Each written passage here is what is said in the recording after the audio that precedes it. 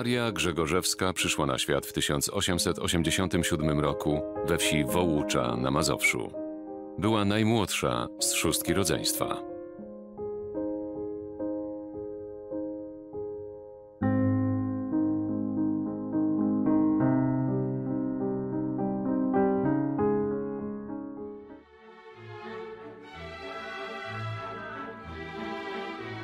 Czasy wczesnej młodości Marii to lata zaborów.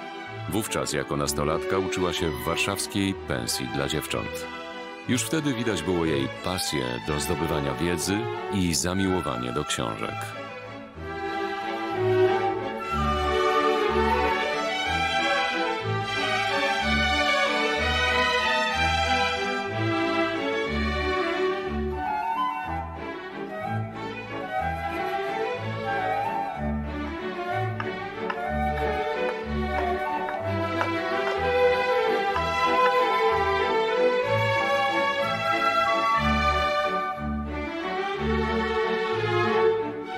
Maria ogromnie ceniła przyjaźń. Często o niej mówiła i tak pisała. Przyjaźń daje moc do wspólnego przezwyciężania trudności, pomaga dźwigać odpowiedzialność, nie daje zapominać, że trzeba szukać tego, co najważniejsze.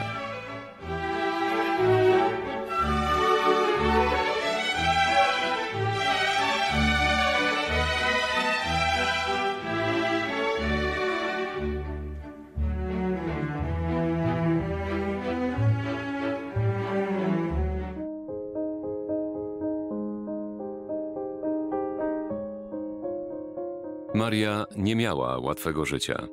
By rozpocząć i utrzymać się na wymarzonych studiach przyrodniczych, podejmowała się różnych prac. Była nauczycielką na Wileńszczyźnie, udzielała korepetycji i nauk w prywatnych domach, a nawet zaklejała koperty.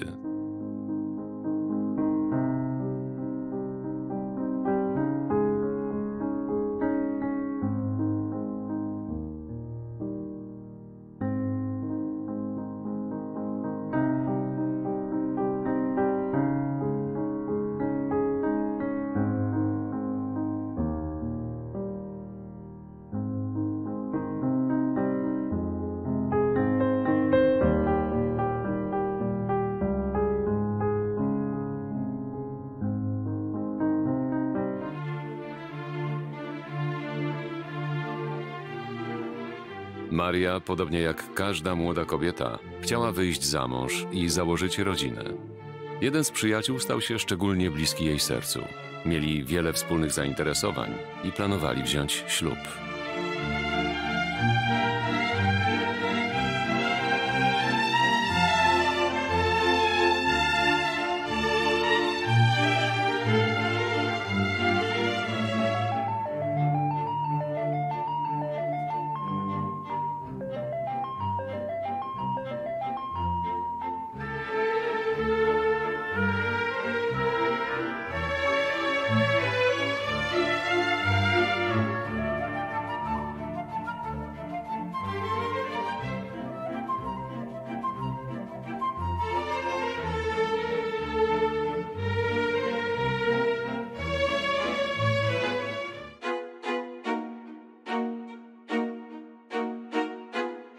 Niestety narzeczony Marii zachorował i wkrótce potem zmarł na gruźlicę.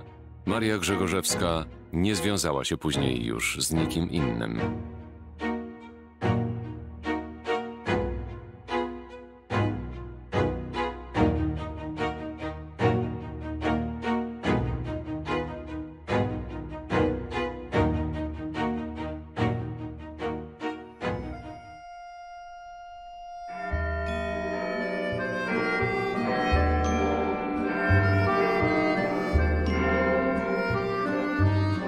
W czasach I wojny światowej i tuż po niej Maria podróżowała po Europie, zdobywając wykształcenie i poznając nowych przyjaciół. Mieszkała w Londynie, Brukseli i Paryżu.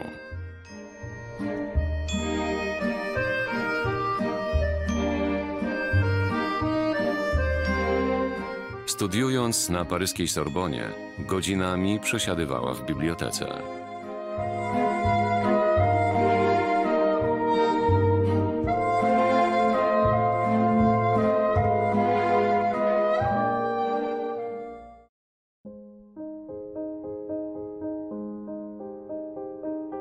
Pobyt w stolicy Francji był punktem zwrotnym w życiu Marii Grzegorzewskiej.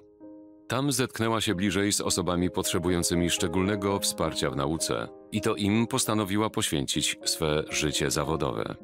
Wiele starań i serca włożyła w organizowanie szkół specjalnych, właśnie dla dzieci, których nikt do tej pory nie uczył.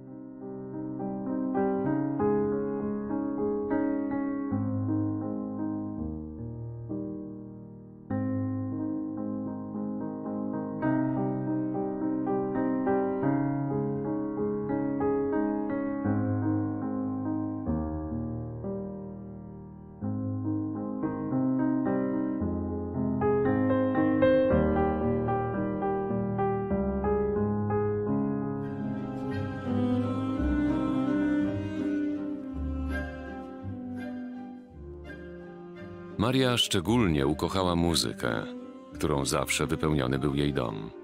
Tęskniła do niej, jeżeli jej długo nie słyszała. Była też miłośniczką poezji. Zaczytywała się w Słowackim, Mickiewiczu i Konopnickiej.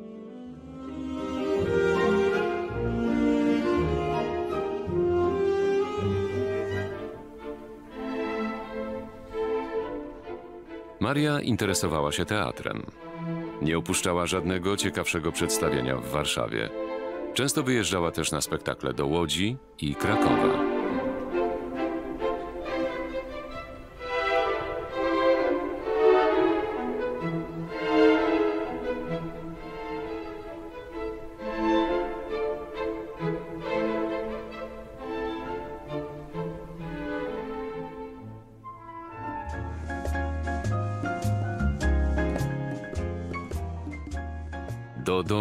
Grzegorzewskiej zawsze można było wejść.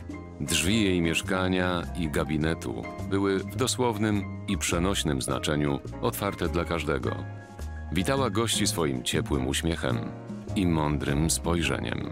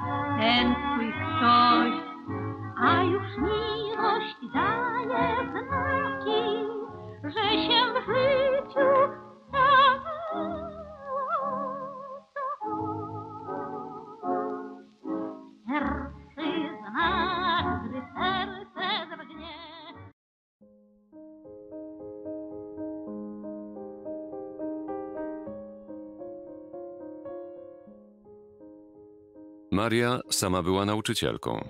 Przygotowywała też innych nauczycieli do pracy. Miała wielu znajomych i współpracowników, do których często pisała. W niektórych listach zapisała przemyślenia i wskazówki dla przyszłych pokoleń nauczycieli. Są one aktualne do dziś. Maria Grzegorzewska całe swoje zawodowe życie poświęciła szkole. Była dyrektorem Państwowego Instytutu Pedagogiki Specjalnej. Pracowała w nim przez 45 lat. Była osobą dobrą, ciepłą i ogromnie wrażliwą. Wiele starań i serca włożyła w organizowanie nauki dla tych, którzy najbardziej potrzebowali jej pomocy. Poświęcała się dla nich z pasją przez całe życie.